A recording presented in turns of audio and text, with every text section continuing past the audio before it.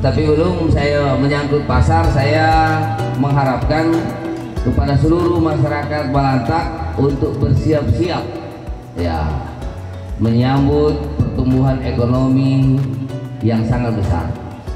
Karena saya dan Pak Purkan ini Pak Wakil Bupati untuk tahun masa jabatan awal ini kami mau fokuskan pembangunan di daerah Kepala Burung ini. Kenapa seperti itu? Supaya ada perimbangan pembangunan.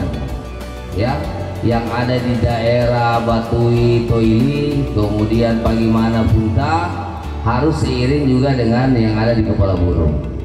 Insya Allah program jalan di tahun 2022 itu semua kita lebih besar fokuskan ke daerah Kepala Burung ini. Nah ini hal yang baik supaya Kepala Burung juga bisa sama berdudukan dengan kecamatan-kecamatan yang lain. Kemudian yang kedua, insya Allah ini dalam sementara dalam pembedokan, saya mohon semua masyarakat yang ada di Kepala Burung ini mendoakan kami. Ini kami lagi berusaha untuk membentuk kawasan industri khusus yang ada di daerah Kepala Burung ini. Tepatnya nanti di daerah Teguh dan di daerah Siuna. Ini masih jadi pilihan antara dua tim lagi turun Kenapa seperti itu?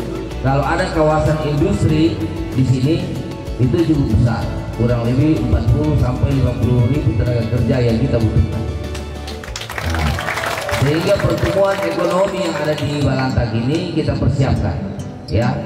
Saya banyak berbicara dengan Pak Gubernur, ya, untuk membentuk Kabupaten Bangga ini terdiri dari tiga kabupaten baru termasuk salah satunya daerah Topo Tikai.